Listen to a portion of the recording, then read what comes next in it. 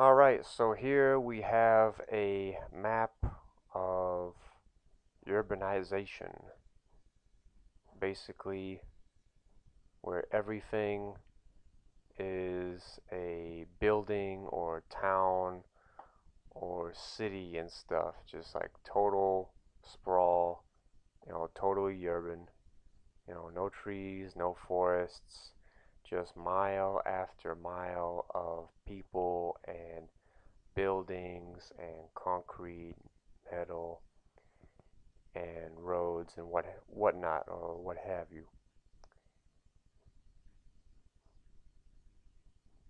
Where every space or just about every space is filled with some kind of, you know, just total, uh, you know, city or urbanization going on here.